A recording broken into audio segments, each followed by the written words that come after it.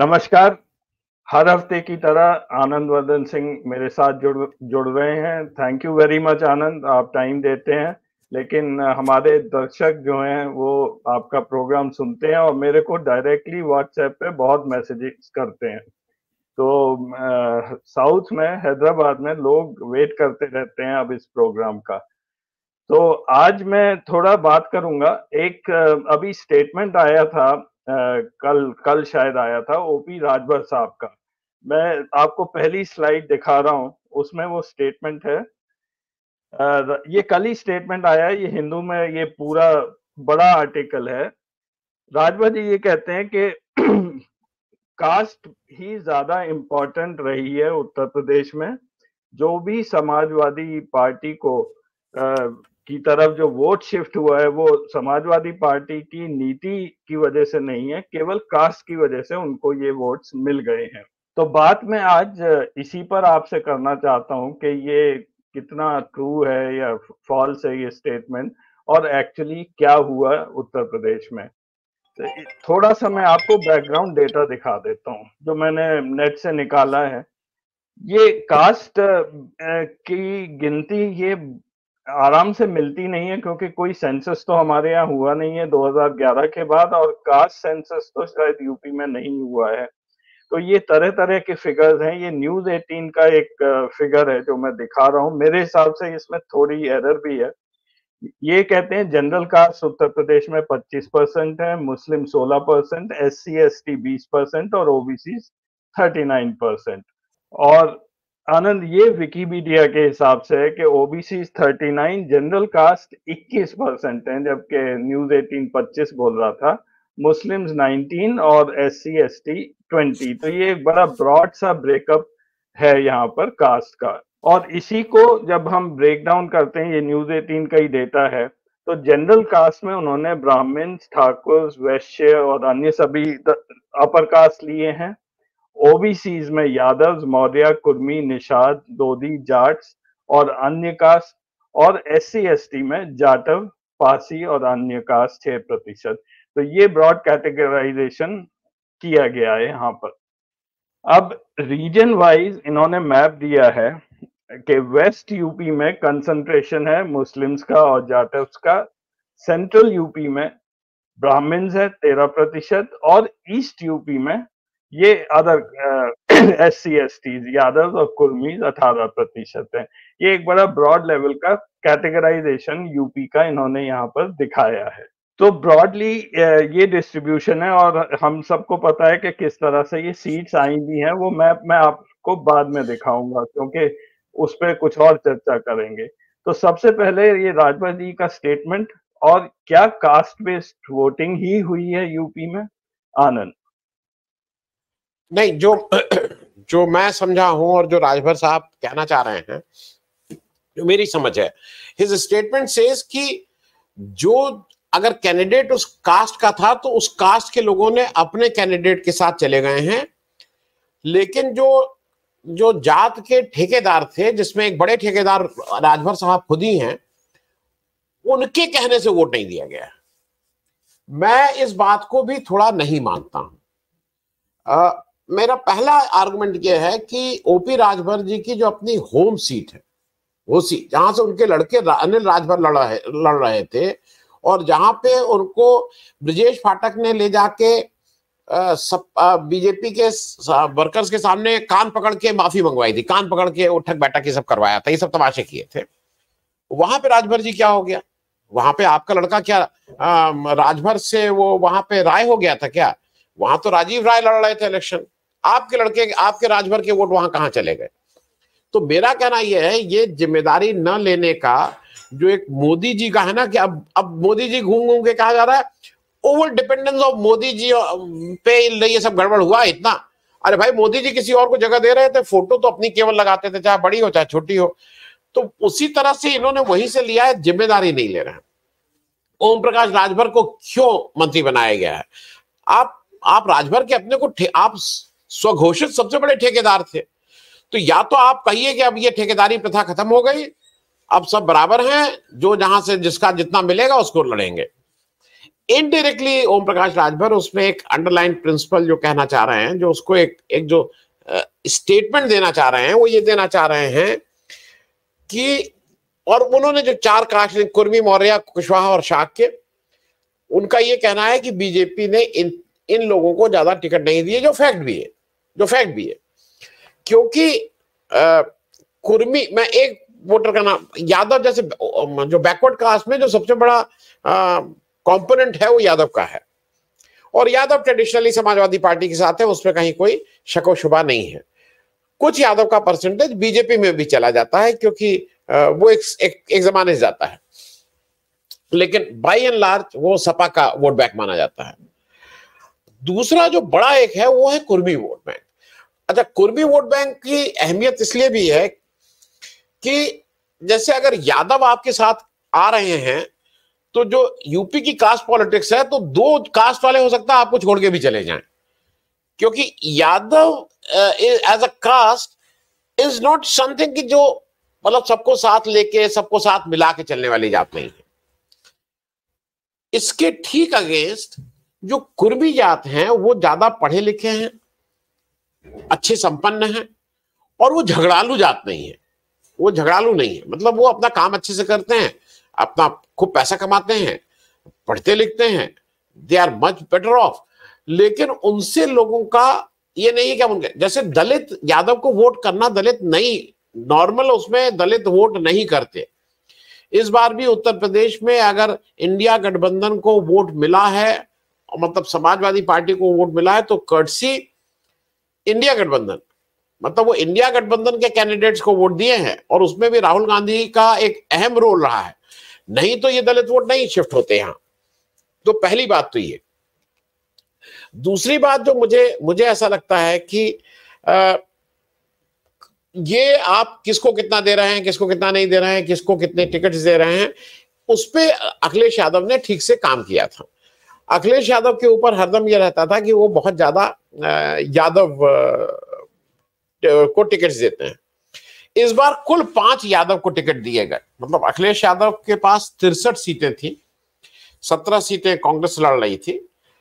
उस तिरसठ में पाँच दिए गए और वो पाँच भी उनके अपने इमीडिएट घर वाले थे। मतलब उनके उनके ती, चार भाई तीन भाई एक पत्नी और एक खुद।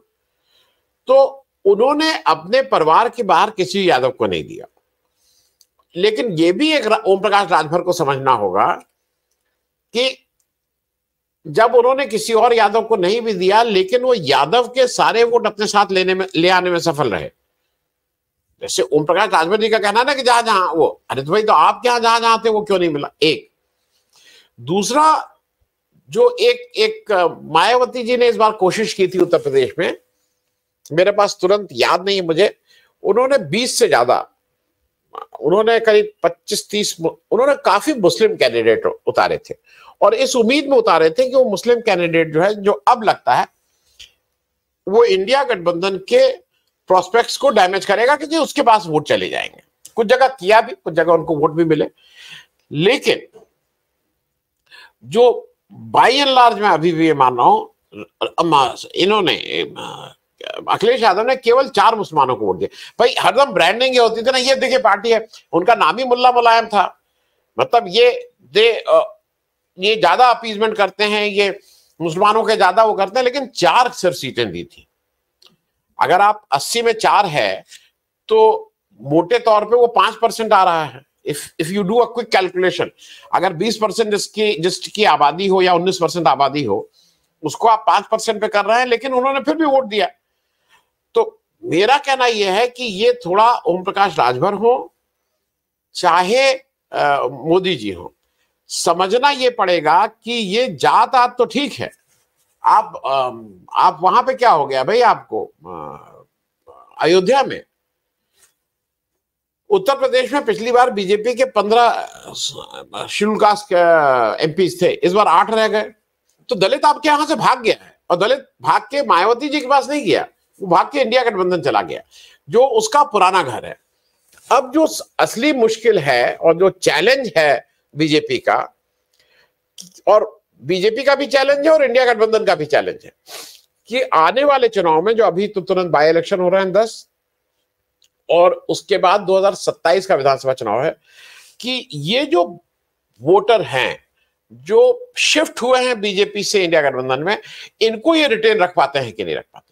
मेरे हिसाब से दैट इज़ चैलेंज और वो अगर रखने में कामयाब हो जाते हैं तो मैं ये मानूँगा कि शिफ्ट पक्का, लेकिन जात के अलावा मुझे ऐसा लगता है इश्यूज़ भी इंपॉर्टेंट ज़्यादा थे. बिटवीन जात जात इज़ अ रियलिटी इसको नो वन इज़ डिनाइंग पर मेरे हिसाब से बेरोजगारी, महँगाई, इसने जात नहीं देखता है ये. ये सबके लिए बराबर थी. तो शायद बीजेपी उसको पढ़ नहीं पाई और बीजेपी का ओवर एम्फोसिस ऑन जात जात जात जात। संजय निषाद उस जात के तो उनको ले आओ, ओम प्रकाश राजभर उस जात के तो वो ले आओ, उपेंद्र, वो कुशवाहा उस जात के, वो थोड़ा बूमरैंग किया। लेकिन Akhilesh Yadav has done his job very well उन्होंने अपने ड्राइंग मतलब ड्राइंग बोर्ड पे कास्ट कॉम्बिनेशन को ठीक किया और ठीक से टिकट बांटे। इसमें कहीं कोई दो राय नहीं। अजय। जी, आनंद। लगे में जब आप बात कर रहे हैं तो मायावती के ऊपर थोड़ा सा डिटेल में अगर आप बताएँगे, पहली चीज़ तो उनका बहुत बुरा डेबिकल रहा है इस बार। ऑलमोस्ट वाइप आउट सी रही है, उनका इफ़ेक्ट भी ऐसा लगता है बिल्कुल खत्म हो गया है। और क्या उनका अब रिवाइवल पॉसिबल है कि वो अगले चुनाव में स्पेशली जो असेंबली का चुनाव आ रहा है, उसमें will she be able to play a major role once again Anand? मतलब फ़र्स्ट इज़ नो मुझे ऐसा लगता है कि एक तो दो चीज़ें समझ लीजिए। आज ही पेपर में खबर आई, मायावती जी का हैवी डिस्काउंट सेल लग गई है। आप आप हैदराबाद में मुझे नहीं मालूम, लखनऊ में कई जगह परमानेंट साल दर साल वो डिस्काउंट सेल लगी रहती है। क्या है वो डिस्काउंट सेल ही लगी रहती है? बड़े ब्रांड की भी मतलब बड़े ब्रांड की बारह महीने एक डिस्काउंट सेल चलती है। वो मामला अब बीएसपी में शुरू हो गया है। बीएसपी ने अपनी क्योंकि देखिए एक चीज़ ध्यान रखिएगा बीएसपी के लिए पैसा बहुत इंपॉर्टेंट उनके उस पूरे जो जो उनकी फिलोसफी है उसमें पैसा एक इंपॉर्टेंट है कि जब मेरी बर्थडे होती है तो मुझे आप गिफ्ट मत दीजिए पैसा दीजिए आप मुझे ये सब पुराना है उस, उस इतिहास में मैं नहीं जानता हूँ जो जानता है उसको पता है। और ये भी फैक्ट है कि वहाँ पे ये कहा जाता है कि भाई मैं आपको इतने वोट दे रहा हूँ दे रही हूँ दे रहा हूँ और इसलिए इस वोट की कीमत क्या है? अगर आप दस लाख, बीस लाख, पचास लाख, एक करोड़, दो करोड़ खर्च करते तो आप। तो अभी जैसा मेरी जानकारी है, एक तो अधिकृत जानकारी है एक तो मार्केट की जानकारी है। जैसे एक लिस्टेड शेयर होते हैं, एक अनलिस्टेड शेयर होते हैं तो मामला डिस्काउंट पे है और हेवी डिस्काउंट है। मतलब जो शायद दो करोड़ का मामला था, वो पच्चीस लाख में बहुत आसानी से हो जा रहा है, उसमें बहुत वो मामला डिस्काउंट है और वो एक दूसरा डिस्काउंट ये है कि वो जो दो सौ रुपए की उनकी मेंबरी थी वो मेंबरशिप बीएसपी के मेंबर से दो सौ रुपए लेती थी उस पर डिस्काउंट सेल अब पचास रुपए की हो गई है। वो ऑफिशियली डिस्काउंट है। तो मेरे ख्याल में वो स्ट्रैप में आ गई हैं जहाँ पे अब उनकी मतलब हंड्रेड परसेंट उस पर तो कोई खरीदेगा ही नहीं। और डिस्काउंट जैसे सेल लगी रहती है वैसे सेल लगी है। आ, कभी कभी आपको ज़रूरत होती है पानी भाई यहाँ जा रहे हैं, पानी के लिए दो दिन के लिए जूता चाहिए, चार तो आप एक जूता होता खरीद लेते हैं भाई दो तीन दिन का है, चलो सेल से ले लो। ये जानते हुए कि बहुत अच्छा जूता नहीं है। तो जो ठेकेदार इस तरह के जो जिन्होंने कुछ पैसा कमाया है, जिनको समाज में थोड़ा रिकग्निशन चाहिए थोड़ा मतलब आप ठेकेदार हैं तो तो उन लोगों के लिए एक दुकान खुली हुई है, सेल लगी हुई है। टिकट टिकट ले आएँगे, लड़, जीते ही देंगे, नहीं। लड़ लेंगे तो ये रहेगा कि भाई नेताजी हैं नेताजी हैं। पीछे लिखवा लेंगे। विधायक प्रत्याशी, सांसद प्रत्याशी प्रत्याशी ये सब करके घूमेंगे और अपना मामला चलता रहेगा। तो एंड एंड मायावती जी की स्टोरी का तो अब दी एंड है। इसमें कहीं कोई अगर किसी को लगता है कि नहीं नहीं, वो क्योंकि उनकी फितरत नहीं है। उनकी फितरत नहीं है। देर आर पीपल जो, जिन्होंने रिवाइव किया है। At this age we must you have we have a मतलब great example in in your आपकी जो पुराना राज्य था Andhra Pradesh what a come back by Chandrababu Naidu लेकिन चंद्रबाबू नायडू आप बताइए पिछले पाँच साल से क्या घर में बैठे थे चंद्रबाबू नायडू और उनका लड़का जो थे वो देवर ऑलवेज या तो वो जेल में रहते थे या वो street dwellers on the roads तो अगर वो लड़े थे तो वो आज वापस आए भी हैं। मायावती जी को तो आज तक मैंने पिछले 25 30 40 साल से मैं भी देख रहा हूँ उनका। मैंने मायावती जी को कभी लड़ते हुए नहीं देखा है। उनका एक अपना स्टाइल है कि इसको टिकट दे दो, फिर इसको निष्कासित कर दो, फिर इसको वो कर दो, इसको सस्पेंड कर दो, इसको बाहर निकाल दो। वो और वो इस उम्र में कोई बदलने वाला नहीं होता है, जो जैसा है वैसा है। और मायावती जी को कुछ लोग जाके समझाते रहते हैं कि आप ही प्राइम मिनिस्टर होंगी एक दिन इस देश की। एक तबका ये समझाता है एक तबका ये समझाता है कि अगर आप के साथ हम लोग हट गए ना तो आप हंड्रेड परसेंट जेल चली जाएँगे, क्योंकि आपके अगेंस्ट इतने इतने केसेस हैं। तो वो डरी भी रहती हैं, लेकिन सपना भी देखती हैं। दोनों चीज़ें मेरे ख्याल में Mayawati saga is over Ajay. जी, आनंद।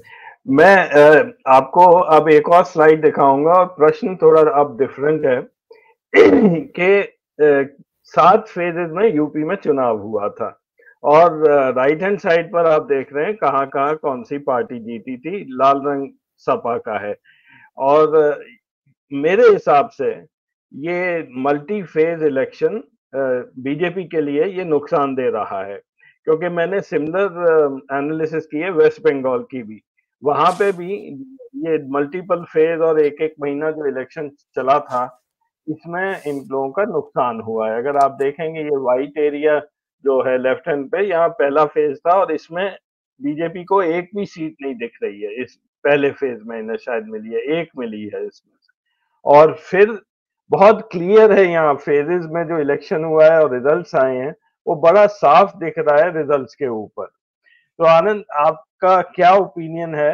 ये मल्टी फ़ेज़ इलेक्शन जो हुए थे वो कितना नुकसान रहा बीजेपी का या फ़ायदा रहा? आ, आपका कमेंट चाहूँगा। आनंद। मैं अजय देखिए ऐसा है कि बीजेपी ने अपने उसके पास एक बहुत एक एक खराब वो है मैं उसको पूरा नहीं बोलूँगा जिनसे सुना सयाना कौआ के बारे में कुछ कहा जाता है सयाना कौआ intelligent crow and at time से कहा जाता है कि वो कुछ ऐसा मल खाता है ये कहा जाता है सयाना कौआ जो है वो मल खाता है। आ, ये बात मैं इसलिए कह रहा हूँ कि बीजेपी ने अपने हिसाब से तो वो जो जो बीजेपी को आता है फिर वही बात है जो जिसको आता है बीजेपी ने अपने हिसाब से क्या क्या किया? लीडर्स को जेल में डाला। तो पहला काम तो ये हुआ कि सबका अच्छा जब जेल में डाला तो बाकी लोगों के भी हार्ट बीट बढ़ती थी। एक ये कहा जाता है कि भाई हम सब लोग जब अगर आजकल बहुत कॉमन हो गया, महीने में एक आध बार आपको शमशान जाना ही पड़ता है। तो शमशान जाते ही आप सब धर्म, कर्म की बात करने लगते हैं, कम से कम उस एक घंटा कि यार ये तो अपने को भी अपनी भी गद होती है, लेकिन बाहर आते ही फिर वही बाकी दुनियादारी में लिप्त हो जाते हैं। उसी तरह से जब अगर अरविंद केजरीवाल गिरफ़्तार होते हैं, हेमंत सोरेन गिरफ़्तार होते हैं तो धड़कने तो ऑपोजिशन के कुछ की बढ़ती ही होंगी। इस there is it is human nature nothing wrong in वो बढ़ाने का काम किया। कांग्रेस के उन्होंने सारे अकाउंट्स को फ्रीज करके अपना, उनको लगा कि ये कर देंगे। जितनी तरह से बाँध सकते थे, उस सबको बांधने का काम उन्होंने कर दिया था। आपस में झगड़े लगाने के काफ़ी काम किए। चार सौ पार, चार सौ पार कर दिया। मोदी जी की आदम का वो होने लगी। सारे होर्डिंग्स का पहले ही उन्होंने ठेका ले लिया। किसी दूसरे के पास एक भी होर्डिंग ही नहीं थी। ये सब करने के बाद उनको लगा कि हम बहुत अच्छा करेंगे। और मोदी जी को सात फेस चाहिए, क्योंकि मोदी जी पर घूम घूम के अकेला वो है मतलब वो बिल्कुल रामचंद्र जी की तरह अकेले युद्ध स्थल में आए सबको मार काट करके दोनों हाथ से तलवार चलाएँगे और वो ठीक कर देंगे। हुआ इसका उल्टा। मोदी जी खुद ही, मोदी जी जब शुरू किए तो वो शुरू किए थे मंगलसूत्र से। और बाद में आते आते बस मोदी जी ने हो सकता है प्राइवेटली गाली गाली देने से कम तो काम नहीं किया। मुजरा कर रहे हैं, वो भैंस खोल ले जाएँगे। मोदी जी कितना थक गए थे, ये उनके वक्तव्यों से होता है।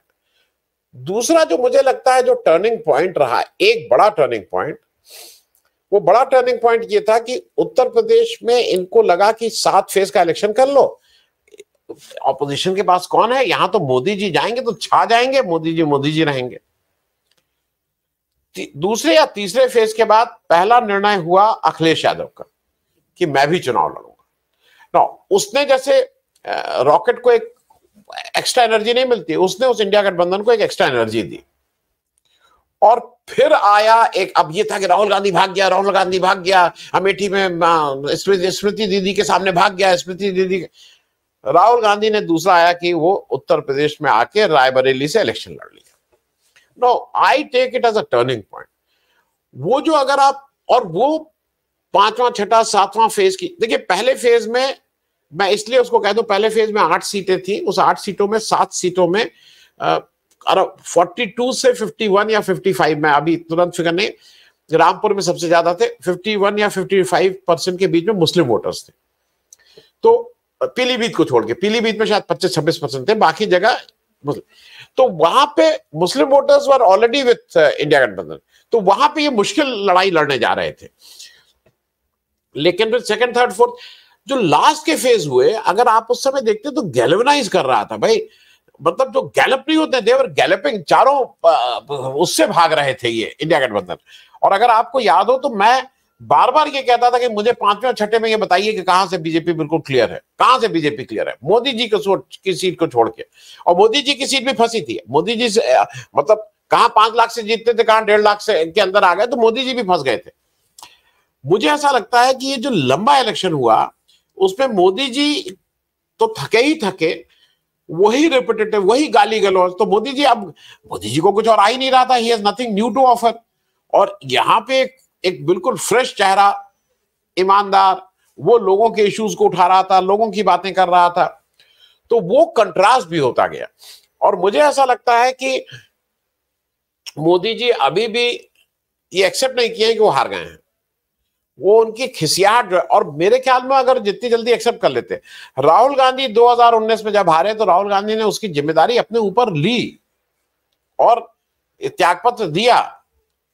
मोदी जी की ज़िम्मेदारी कभी नहीं लेंगे, क्योंकि मोदी जी ने जो एक बड़ा सा वो बनाने की कोशिश की थी, मोदी जी तो अगर आपको याद हो, ये सब हँसी की बात है। अगर आप इस, आप your father is how old is there अच्छा आपके पिताजी ने कभी आपको एक हाथ थप्पड़ वप्पड़ लगाया था कि नहीं लगाया था?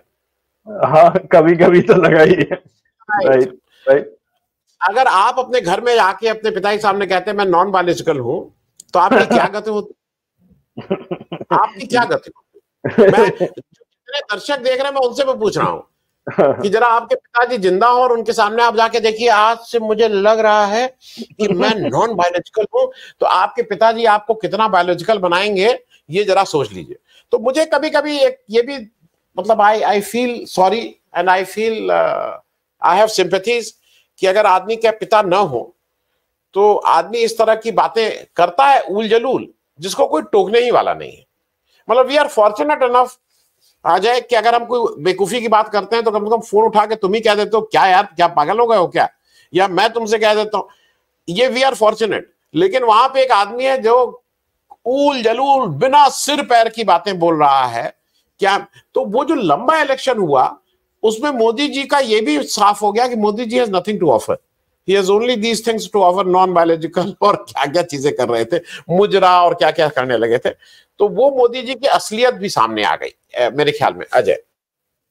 जी I I think Modi ji का अब यूपी से तो अब ये खत्म हो गया है, वो दोबारा से बनारस तो नहीं आएँगे अब लड़ने। अगर वो लड़े अगला इलेक्शन तो thank you so much Anand for joining interesting है मैं, आपके मैं अजय मैं नहीं मैं एक चीज़ ऐड कर दूँ। मोदी जी का बहुत मन था अयोध्या से लड़ने का।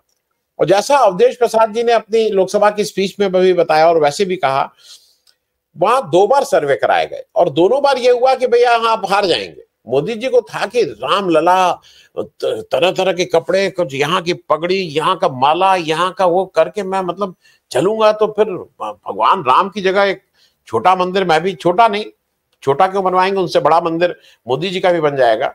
लेकिन वहाँ की सर्वे ने कहा कि नहीं, आप हार जाएँगे। ये अवधेश प्रसाद जी का बार बार कहना है and then he shifted to to Banaras तो मुझे मुझे ऐसा लगता है कि देश के सामने जो सबसे पहली चीज़ है मोदी जी शुड एक्सेप्ट कि वो हार गए हैं। मोदी जी शुड एक्सेप्ट कि there is a stronger opposition और लोकतंत्र में ऑपोजिशन का भी एक रोल है। वो जितनी जल्दी उनको समझ में आ जाएगा वो देश के लिए अच्छा होगा।